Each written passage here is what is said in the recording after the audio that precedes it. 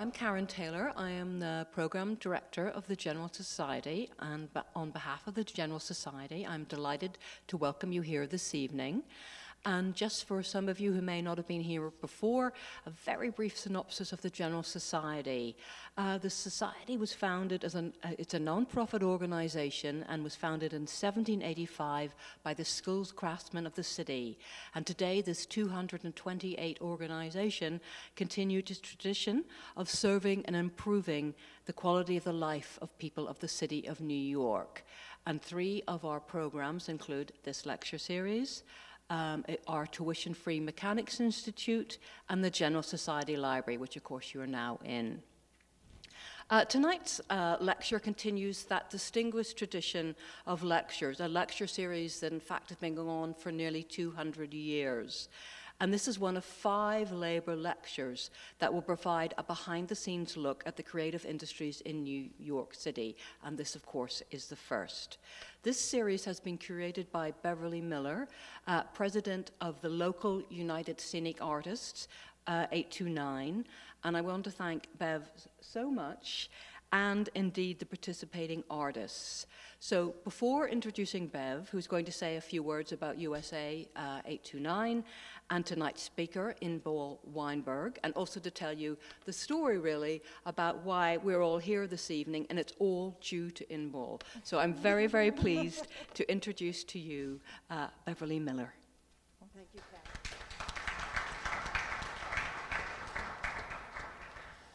Thank you, Karen, and good evening. I'm very pleased to be here, uh, introducing Inbal and kicking off the series.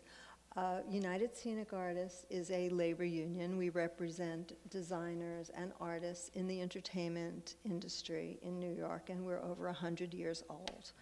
Uh, we represent folks who work in television and film, in live theater, opera, ballet. We have a jurisdiction that's national, national for live theater and five states for television and film. And we're uh, very proud of the people who work in our local union. We represent over 4,000 people in an industry that has served New York, especially in the past couple of years, as a great financial engine and a serious, now taken very seriously as an industry in this city. Um, Inbal introduced me to the folks here at the General Society when she was working on a film called The Angriest Man in Brooklyn, which is yet to be released. And she said, You know, I'm right in the neighborhood and you have to see this place. So I came up here and I was just overwhelmed at the beauty of this building and the history that's encompassed here. And we got to meet Victoria and Karen and talked about our mutual interests in craft and the trades in New York. And this is one of the things that has grown out of it. We've also combined some, uh, some training prospects and hoping to work together in the future as we are with the lecture series. And um, I just want to say, as far as Inbal is concerned, I met her way back in 2009 on one of her first movies in the city called Blue Valentine and just have followed her career and am very excited about what she's been doing and what she will be doing.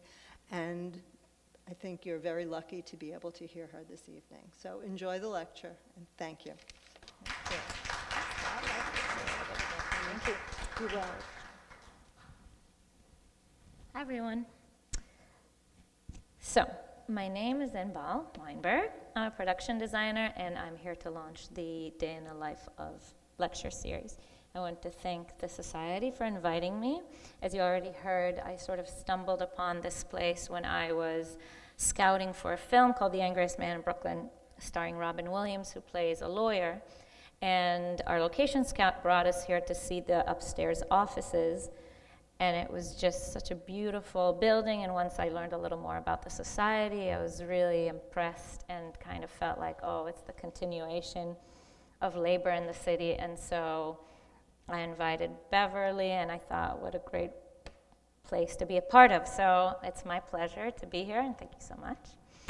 Um, okay, so this lecture is hopefully going to be able to explain a little more about my profession and the industry that I work in.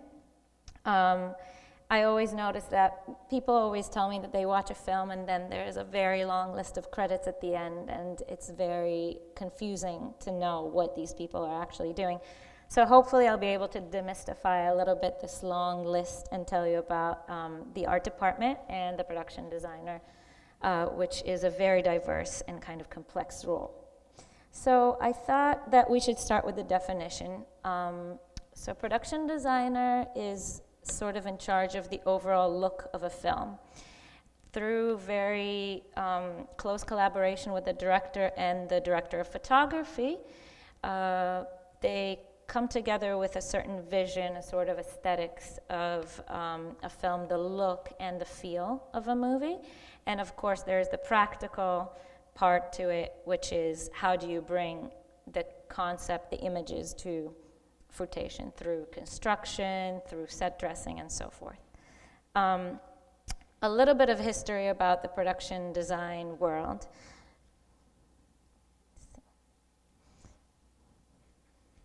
Um, the first films, like right at the beginning of cinema, at the turn of a century, um, had very flat sets. As you can see, most of them were even painted as a backdrop or just, just flats in the back of characters.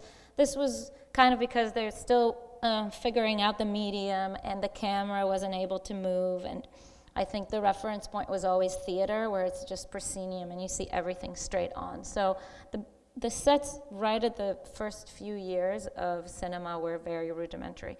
But very early on, in the next couple of decades, there was a pretty vast evolution of production design and it went all the way to these epic films. This one is called Intolerance, is made by D.W. Griffith, which is one of the first auteurs in American film, and I think it's from 1925, and you can see the crazy scale of this um, model um, of ancient Egypt. And then, of course, there was a more experimental side in European film. For example, this film called uh, The Cabinet of Dr. Caligari, which is also from the 20s from Germany, where the sets were a lot more expressive and kind of fantastical in a way, sort of mirroring the, um, the feel of the dark movie and the characters in the story. And of course, there are also sci fi elements. This is Metropolis by Fritz Lang, and it's also this uh, same era, the 20s. And you can see these very large constructions that were kind of about a future state. Um, so, as I said, this was kind of in the first decades of cinema. So, at the beginning, there wasn't really an art department. They used to contract people from the outside, like builders, to come build these things. But with time, especially with the Hollywood studios, um, they, uh, the studios themselves realized it would be a lot more cost effective and streamlined if they had in house departments. So, um, this is sort of the golden age of American film in the Hollywood era. You had these big art departments that were in house for each studio, like MGM, Paramount had their own art departments, and there would be one supervising art director who was kind of like more of a chair, like an administrative position, and would supervise all the different um, parts like the builders, the model makers, the matte painters, and his name would go on as art director for every film that would come out of the studio. But it was a bit of a controversial time because some of these people were not really that involved because there's so much coming out. But because there would be one name kind of for each film, and every studio had their own style in the 20s and 30s, these uh, art directors became a little more famous and the position of art director became more well known. For example, um, for example, Van Nest Polglase, who designed all of the Fred Astaire and Ginger Rogers um, musicals in the 30s, and his style was very um, pronounced. It's kind of, um, and this is Cedric Gibbons, who was, I think, almost like a a rock star. Like he married a film star, and he was always like driving around in his whatever fancy car. And his name was on a lot of films that came out of the studio at the time, but he had a gigantic team. And also, working for the studio, you have vast resources because there's really huge prop houses. They recycle a lot of sets, they have backlots. Um, but most of the work at the time was done in the studios. So the studios would have these big backlots with like the New York street or whatever, uh, or they would recycle the same sets but change things around. And a lot of the work was done inside. Um, this man, his name is William Cameron Menzies, uh, was another very well known supervising art director. He worked for MGM, and he's actually responsible for the term production designer. He worked on Gone with the Wind with David O. Selznick, and he was so involved in the design. He did a ton of, um, as you can see at the time, it was today not used as much, but at the time they used to do a lot of architectural sketching. And so, in a way, he was almost inventing the look because whatever sketch he would do would end up very similar. Um, this is David O. Selznick. And so these are the kind of sketches that he would do for Gone with the Wind. And I think he went as far as actually constructing shot lists and almost storyboarding the film. So David O. Selznick let him be called up the production designer of the film. And this is the first time that the term production design was actually used in 1939. Um, so then we come to first, uh, Second World War, and after the war, there was a bit of a different era that started. The studios started their very slow, I wouldn't say demise, but the golden era was kind of getting lost a little bit too. Obviously, the post-war um, effects and also the beginning of television. And at the same time, in Europe, there were some very interesting productions going on with kind of uh, bare looks. People were shooting on the street. This is a film from Italy that was using the post war era, the, the rubble. Um, so some American filmmakers were also influenced by that look.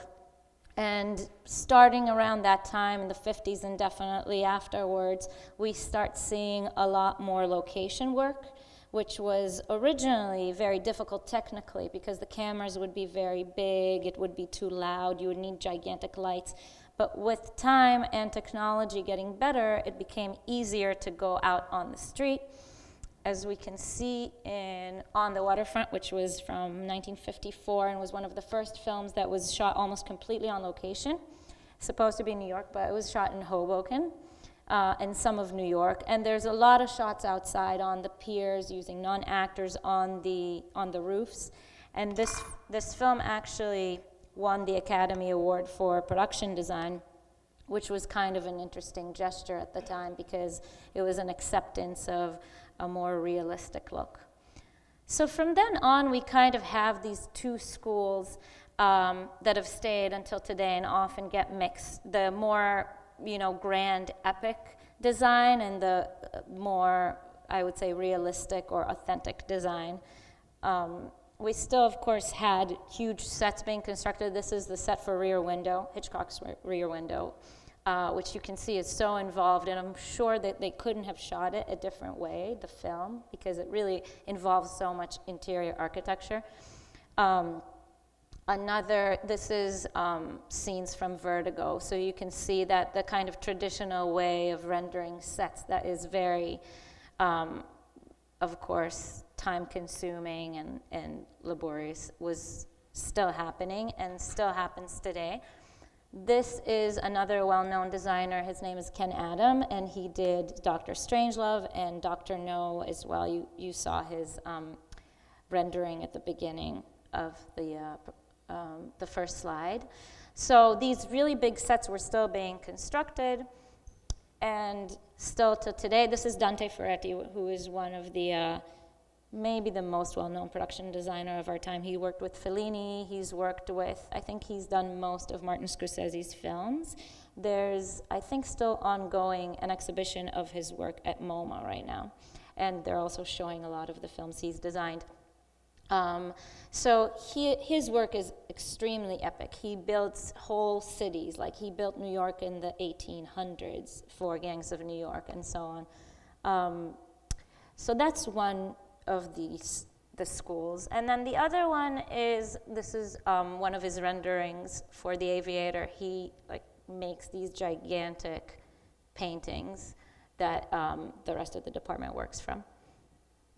Um, the other school is kind of, which got uh, uh, more popular in the 70s, is the sort of more gritty, like urban feel of the city. This is the French Connection, which was also shot in New York. A lot of very famous street scenes that were very much as is. I mean, you always have to control the environment, but in terms of the background, the cars, the street furniture, it's all very authentic. So another version of that is Taxi Driver. You know, it's um, you can see that very urban, authentic, kind of about the fringes of society. And till today, there's still that. Um, it is expressed a lot in independent film, where you can see more gritty, authentic exteriors and interiors. Um, this is from All the President's Men, also from the 70s, where most of the action takes place in this gigantic office. It's really just an office. It looks exactly like probably what the Washington Post looked like at the time. Um, so another still that's similar to that is from a film that came out, I think, two years ago called Tinker Tailor um, Soldier Spy, which was also very realistic for the time. It's a period piece, but I just thought it kind of mimicked a little bit it's sort of, you're not trying to make things too glamorous. And this still is from Synecdoche, New York, which is uh, designed by Mark Friedberg, who's also a very big production designer. And this is an interesting mix. I mean, you can see that the set is designed, but you sort of also see the day to day of this character. Um, and I think you can even see that in this week's Academy Award nominees because, you know, The Great Gatsby was nominated for production design, which is a very epic film, but also a film like Her was nominated, which is, you know, more of a conceptual design and a lot closer to real life or what real life would look like in this parallel universe. Um, and so Today, we're sort of always dealing with both epic and gritty. Like most films have uh, similar, you know, maybe 50% locations. Sometimes you go to locations and you do nothing in them, and sometimes you completely take over um, the entire house or you construct mm, imaginary sets. So there's always a combination of these things. Um, I'd like to talk a little bit about the art department and my own background, just so you have a bit of a context. Um, I went to NYU Film School knowing that I wanted to be a production designer, and I started working on student films when I was in school. And I think my passion was always independent films, which means films that are outside of the Hollywood world. They're usually financed independently and have more unconventional storylines. Uh, a lot of times they're made for a lot less money, and so there's less resources and definitely less crews. So when you start in that world, you sort of learn to do every kind of position and you're trying to get resources from wherever. It's a lot of like troubleshooting and trying to figure out how to do things that you don't really have the money to do. So that was the world that I started out in. And of course, like with time, you know, your films become a little bigger, and I got into the union. So working on union films is a, definitely a different thing, and the system is a lot more fixed, and there's a way of doing things because when you're working on a huge film that has hundreds of people as crew, you definitely need a system. And so I learned a little bit the system that is the union way of doing things, but I could say that I'm always kind of doing things in an indie manner as well and still working on some independent films.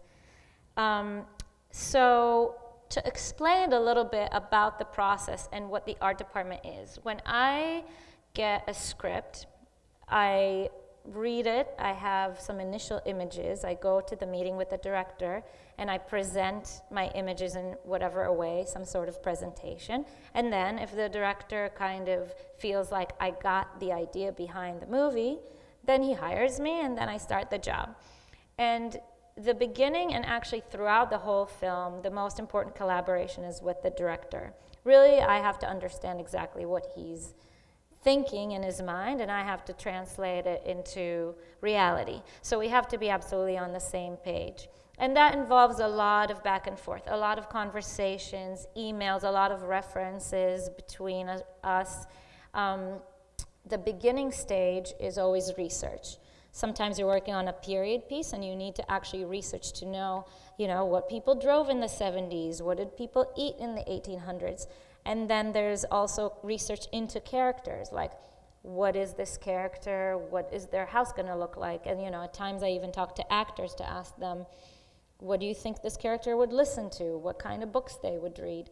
So there is that initial period. Same time, I'm trying to get my crew together because the most important thing is always to have the best crew. So that takes a while usually. And then once that very initial period is over, we start doing location scouting which is basically the director, the director of photography, the production designer, and the location manager or scout get in the car and we just drive around for days and days and days trying to find the perfect places. It's not just exteriors. It's interiors, it's, it's whatever the film calls for. And it's not easy to find the perfect place because there's a lot of times limitations. There's very specific things that you need from a place. There's also practical limitations like how are we going to be able to bring 70 people into this small house? Or can we get the neighbor across the street to agree to let us put a huge, you know, there's so many different kinds of factors that you have to bring into the conversation. So it takes a while to find the right locations. Slowly, they all get locked. And as I get more information, as we know, okay, this is for sure going to be the supermarket we are going to shoot in, then I download the information to my crew, and then we go from there. So I'll tell you a little bit about the crew, which is the art department. The production designer is the head of the department, and then there are sort of like a tree. Um, I'll tell you about each position. Uh, the art department coordinator is sort of the secretary of the department or like a producer of the department. They're usually always in the office and they run everything that's going on because it's a very large department and there's a lot going on at all times. So there's people out getting things, there's different transportation, there are things coming in and going out. Um, so the art department coordinator does a lot of the administrative work, paperwork, and also communicating with, with vendors, monitoring the budget, um, and so on. The art department coordinator has assistants, the art department assistants. Uh, the art director is in charge of everything that is getting constructed um, in the movie. If, for example, we're building a huge set on a stage, the art director is going to be drafting that set or hiring draftspeople. Um, he's going to be hiring a construction coordinator, and the construction coordinator is going to be hiring carpenters to build the set. And then he's also going to be hiring a charge scenic, which is the head of the scenic department. And the charge scenic brings in a whole team of painters, and then they paint the sets. There's also a graphic designer that does all of the signage or any kind of graphic work that we need for the film. So that's usually all under the art director. The set decorator is like an interior decorator. Whenever the art director builds the set, the set decorator needs to sort of fill it. Or if we go into an empty house, then the set decorator has to take care of everything inside. And the set decorator has assistants who go out shopping or coordinating with prop houses and has a lead man who is kind of the foreman and has, that has a swing gang or set dressers. And the set dressers are basically like movers. They do everything in the house. Let's say we go into an empty house, they bring all the furniture in, they put up shelves, they put up the curtains, they tile. So it's, um, it's always a big job of making a place a home, let's say, if it is actually a house. Um, they also do a lot of exterior work, and who um, the last part of exterior work usually is greens. It's kind of the landscapers. Any kind of special greenery that needs to be brought, or if you have change of seasons, or if there's a particular a particular plant that has to be planted, then you have a special team that only does the landscaping. Um, and the last one is prop master. Prop master is in charge of everything that the actors touch. So that goes from their personal props, like an actor's watch or sunglasses, to whatever they eat uh, or drink or what they drive. Uh, it's a very meticulous job because it has to be all very um, precise and it involves a lot of different things. Like if you have a shootout, the prop master will take care of all the guns, or of course all the cars. And if you have a big dinner scenes, then they always have to make sure that they have enough food for everyone. after every take, they have to reset all the food. So they're always on set making sure that the actors are comfortable, that everybody has everything they need. And they have assistants. That's pretty much the department, and the size of the department varies depending on the, how big the film is. On small independent films, you could possibly only have the four people, but on big films, you can have hundreds and hundreds of people. Like you could have one day with, you know, 50 carpenters and 50 painters, or even more, depending on how epic your film is. Um, let's see. I think I kind of mentioned the process in general, and so I, I'm going to talk about three different sort of case studies from films that I worked on. I'll start with my last film, which is called St. Vincent, and I'll tell you a little bit about it because it hasn't come out yet. Um, it stars Bill Murray as this uh, very cantankerous, old, mean man that is sort of given up on life and lives in a sad house that has not changed since the 70s, that no one's taken care of for like a few decades.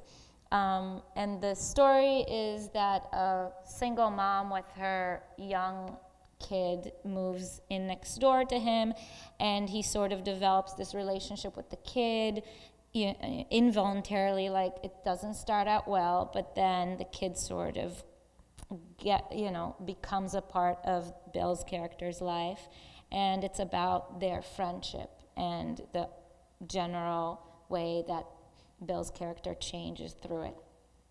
So the first scene, as you can see, this is a part of the script.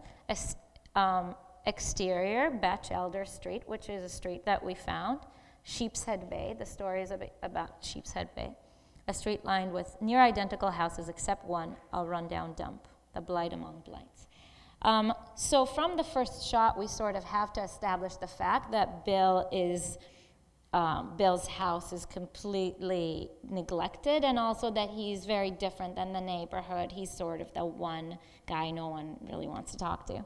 So we got in the car and we traveled and we tried to find a place that would have a kind of uniform look. The story itself reads a little suburban, so it's not like you can go to Brownstone, Brooklyn and find this how it needed to be a very specific thing.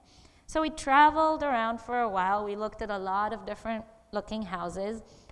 And as I said, it's very hard to find the right thing. First of all, practically, the people in the house have to agree to be in a movie. And not just that, but the people in the house next door. Because this is a story of two families, and so we always had to have the relationship between the two houses.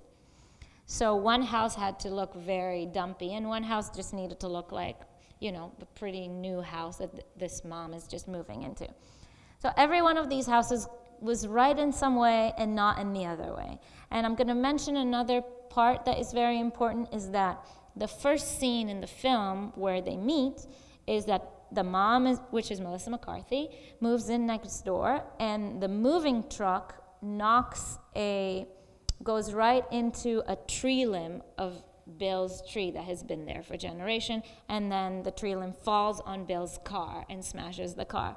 So it's like a very important first scene and we needed to have a tree that is going to be just in the right kind of area for the houses to have a tree limb fall on a car and also not be too overwhelming for the shot. So we had so many different kinds of limitations. We needed to have the truck be able to pull up. We needed to have, you know, neighbors agree from all sides. So we spent a lot of time looking for the right house. Certain things you know you can change, and certain things you know you can't. A lot of it went based on the tree, which is kind of funny to think about because it's very, very hard to fake a tree. You can do a lot more to a house. So, in the end, we settled on randomly these two houses, which you can kind of barely tell the difference. The one on the right had older siding, and the one on the left looks definitely a bit newer, and you can't quite tell, but there is a tree that was kind of in the perfect position. But of course, we needed to do a lot to the house on the right, which was going to be Bill's house. So we started out saying, okay, we have to paint. The, the house is way too white, and it needs to look very shabby. So my graphic designer did a bit of a previs thing, and we um, photoshopped different. Oh, sorry, I forgot. This is my um, little note on references. These are references that I saw around the neighborhood or that I picked out, like location scouting. It's hard to tell, but there's like some, you know, old looking fences and kind of run down because it needed to be so run down. You needed to have very good references for it, especially for the aging, which I'll explain in a sec. So, my graphic designer did basically photoshopped a lot of different kinds of colors to see what would look basically the the saddest. So we ended up going with um, the yellow on the left because it was sort of a bit out there. Like you would definitely recognize the house. You would notice it among all the other houses on the street, and it is a color you don't actually ever want to paint your house in. Um, as you can see, we also added in the graphic design an awning, which was not there to begin with because you know a lot of the older houses in that neighborhood have these older awnings and so we fabricated one and this one is non existent. But then afterwards, this is our house while working on it. Actually, my charge scenic, Rebecca, is here in the audience, and she is um, standing on, on, I think, the ledge of the house over there painting. So she could also test later to how difficult it was to try to get it in the right place. But you can see here, we painted the top of the house. We also painted various parts of like under the, um, the roof on the first floor. We added the awning, and all of this, um, you can see that it looks very old, that it looks like, you know, it got rained on for decades. This is all the lovely work of my scenic team, and it takes a very long time to do properly. So they were working on that for a long time. You can see that we added the fence. The fence also had to be aged. And we did, um, well, we needed to have a sort of a very sad looking grass in the front to be very different than all the other manicured lawns. So we had our landscaping team come in and basically kill a bunch of plants. And it went through various stages of getting sadder and sadder because we just let them die until the first day of shooting. Um, I don't know if you can tell, but we also added some mullions to the windows so that the windows looked like they were older. Um, uh, the design was older. And what's always hard about working on an existing structure is that sometimes you can't harm the structure, most times, because there's a family living there, and obviously they let us paint, knowing we're going to repaint afterwards, but certain elements are not um, we would not be able to bring back to the way it was. So, what the scenics had to do with a lot of this is um, this interesting technique that I think I could explain better with these shots. It's hard to tell because they did such a great job, but these are all. Um, all of the, the white stuff is actually not painted straight onto the um, to the windowsills or the mullions. They're painted on paper, it's um, kind of a sticky paper that they did all of their um, aging work on.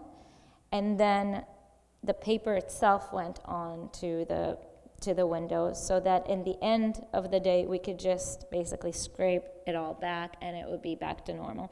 So this kind of um, work and especially getting the aging right takes a long time and we had to go back and forth with the amount because it's hard to tell what is too much. You know we had it to a certain point and then when the director came for the scout when he when we were working he came to see our progress he said you got to go way bigger with it. Like it has to look a lot uh, more rundown which at that point we ended up taking a lot more out, like really big splotches of, um, of paint, like peeling and so on. Um, we also added, this is for the scene, for certain scenes that were very important that you can see in the film, but we, we added um, the fence. As you can see, it all looks like it's just weeds um, and the mailbox. All of these things are aged. You know, they're all purchased new at like a hardware store, and so the aging process takes a lot of time and also has to be done correctly. Otherwise, it just looks fake. Um, here, if you can see the guy that's on the fence, uh, the ladder, he's putting in a fake tree limb for the tree that is going to fall on the car. So he's a part of the Greens team, and what they do is they find a real um, tree limb, but obviously it's not going to have the same oak leaves because the oak leaves are going to fall off. So all of these leaves on this tree are actually put in with wire. Um, and we had to attach it every time. We have a lot of shooting before and after. So every scene you have to make sure, oh, is this before the tree limb fell or after? And then you have to put it back up or down. It's hard to tell how it's put up, but it's basically is up with like bolts. And then the scenic had to paint it so that you don't see where, um, where it connects to the real tree. But worked out really well, actually, and it was a very funny scene when it fell on the car. Um, so I think this is the final, I think this shot is from really the day, the first day of shooting or so, on and so forth. So you can tell the difference from the way it started out.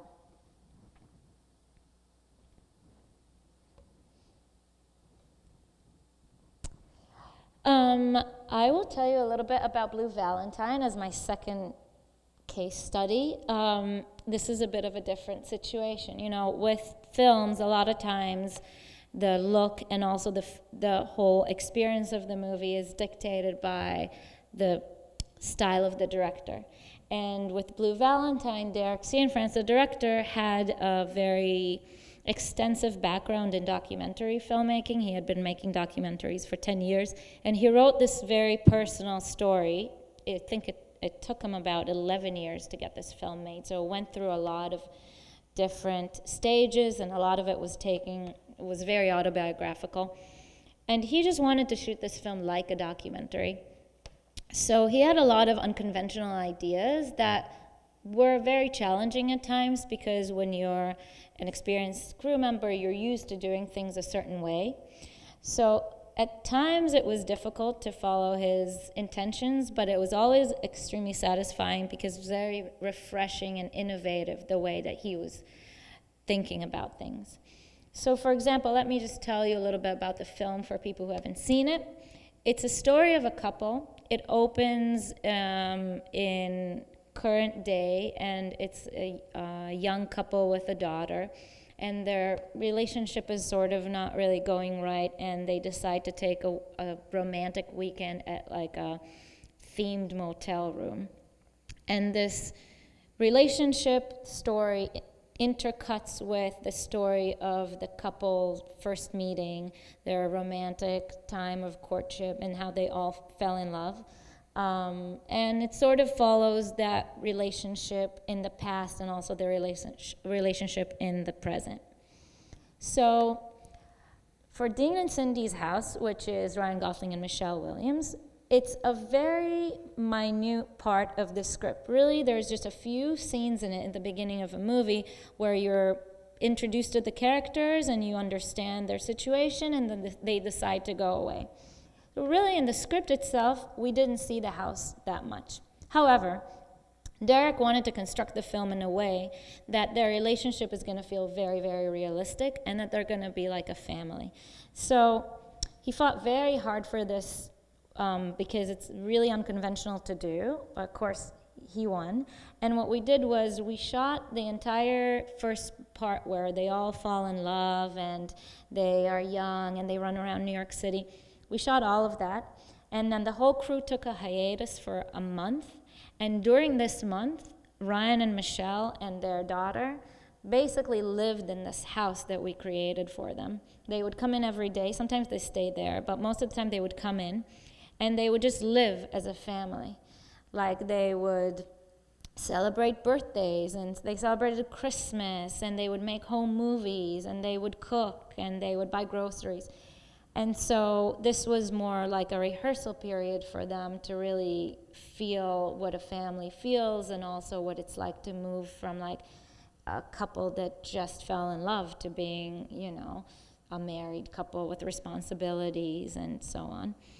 So for this house that we had to build, it had to basically function like a house, um, which is very different than the way you usually you usually do it. Like if sometimes I feel like films are a bit like when you walk in on a Hollywood backlot and you see this perfect New York City street, but if you walk to the other side, it's just flat and there's nothing in the back. A lot of times we create things to look kind of transitory, but they don't have to function. This house had to function completely. So we were making this film in Scranton, Pennsylvania, and we found a house that worked for us. It was a ranch house. It fit the family. It kind of you know, lower middle class. They don't really have much. They don't have glamorous jobs. Um, and it was completely bare when we found it. And the thing is, it just had to work. It had to be super functional. Um, and it had to look authentic. This is a bit of uh, different references that I had while thinking about the house. It's a little hard to tell, but there's pictures from Derek's house. There's pictures from our director of photography's house. There's like some films that we loved, some places that we found while scouting. Um, and then I made a little, this floor plan is very um, kind of amateurish because it's a very small film where there barely was an art department. I didn't have an art director usually the drafting is like very, very, very um, meticulous and very detailed. This was just kind of for my crew, so we all knew what was gonna, what things were gonna look like. Um, and this is, uh, I love this photo. This is from the period where Michelle and Ryan and um, their daughter were living in the house. And so from a set dressing point, we had to make it like very realistic. So, you know, we got the furniture, we got the things for the kid, but we had to go even further with it. Like every drawer that you would open in the kitchen would have things in it. Like if you open the the closet underneath the sink, it would have cleaning supplies.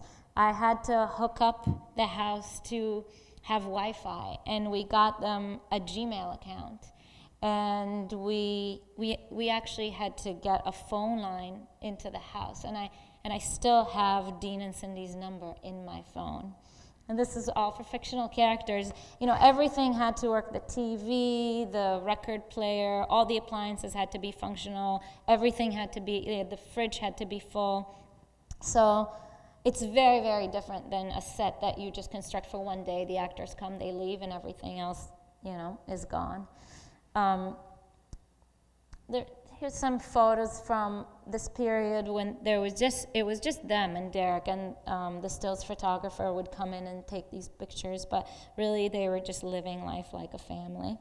And actually, it was a very funny time because I'm used to, I'm kind of used to being in complete charge and I wanted to come in and like clean the house like the house be became a mess no one was like picking up anything there you know we had like uh, dirty dishes in the sink and Derek was telling me, no, you can't touch anything. This is exactly what happens to a family. Like they have to be fighting about who's going to clean up, who's going to, you know, do the dishes. Like that's exactly the tensions that are going to arise from this situation. Um,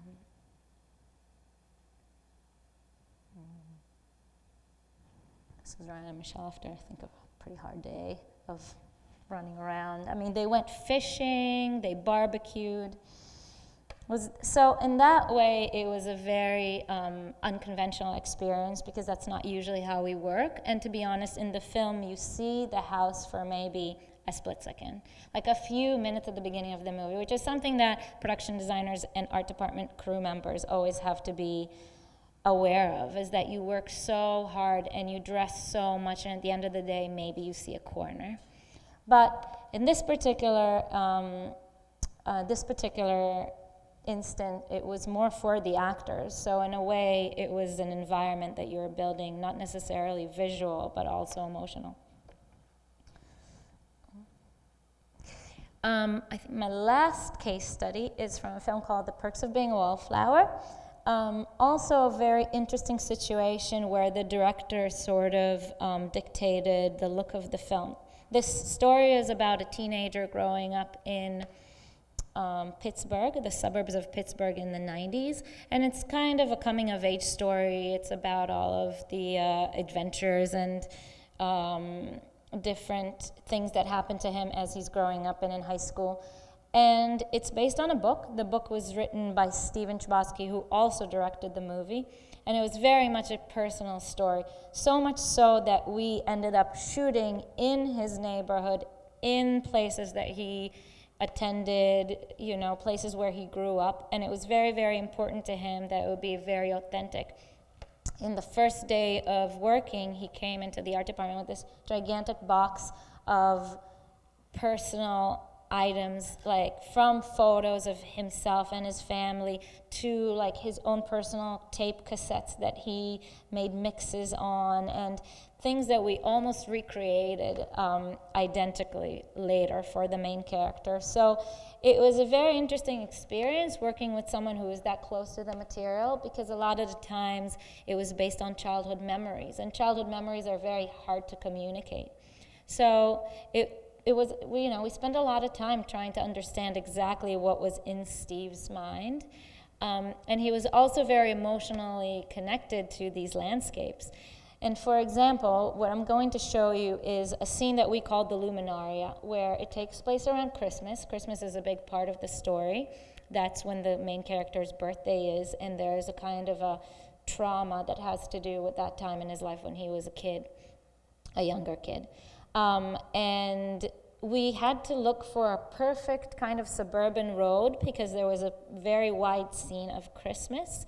And um, it had to show all these suburban homes and a road that goes through them. So, of course, we drove around, we drove around forever. And then Steve said, We should just go to my parents' house. So, we ended up picking the road outside of Steve's parents' house which I also had the key to. And whenever he would try to describe a prop to me that I would not understand, he would just be like, just go to my mom's house and take it. It's from the basement, you know? So that is also a very unconventional way of doing things. But you can see the road. It worked, it would, worked out perfectly for the kind of suburban landscape um, that we were looking for, and it had a sort of a rise at the end. But as you can tell, this is summertime, and we were shooting um, a gigantic scene that was going to take place in winter. So that's when I uh, got to know a lot about season change. And we hired a special effects team that came in and gave us a very detailed tutorial about fake snow, which um, you can have a lot of different kinds of. And we had to basically make winter uh, in the summer setting. So there were a lot of conversations um, going on mainly about the trees. There's um, various conversation about defoliating the trees, which is kind of heartbreaking because you can kill them. Um, we ended up putting camo nets on a lot of them, and luckily we had some evergreens as well. You can see the team, and you can see the amount of work that it took for I think maybe two days. We were just spraying snow all over the place. And there's different kinds of snow. The snow on the ground is a different kind of fake snow than the snow on the trees. Um, and not only that, we had to place luminaria all through that big road. So we had many conversation about what exact lighting we're going to use. Should we use candles? Should we use actual light bulbs? So the whole thing took a long time to plan and set up, but you can see that it was, this is of course in daytime. Our scene was at night, which is also very helpful because at night you sort of have more control on what you're going to see. So we used a mix of different kinds of snow. The greens team also brought a lot of extra evergreen plants that we can place strategically wherever there was a, you know, an area that would look um, too summery. This is us getting ready for the scene. Of course, my set dressing team dressed all the houses with Christmas lights, and the locations team had to get agreement from every neighbor in the street to let us use their house and the exterior of their house, which is usually very, very hard to do. But luckily, Steve was the son of the family, and they knew him since he was a baby, so everyone was, um, most everyone was really helpful and collaborative. Um, this is us shooting at night already. So you can kind of tell that certain things are more illuminated than others. Looks pretty good. And um, I have the actual clip from the movie. This clip is very um, quick. There's other parts in the film where you see that scene.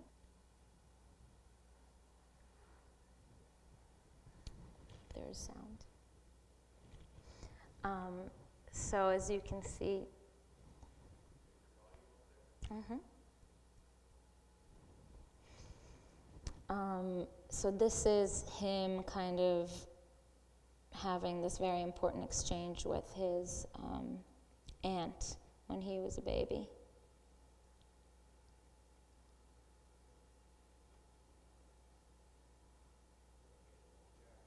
It's all good. That's pretty much it.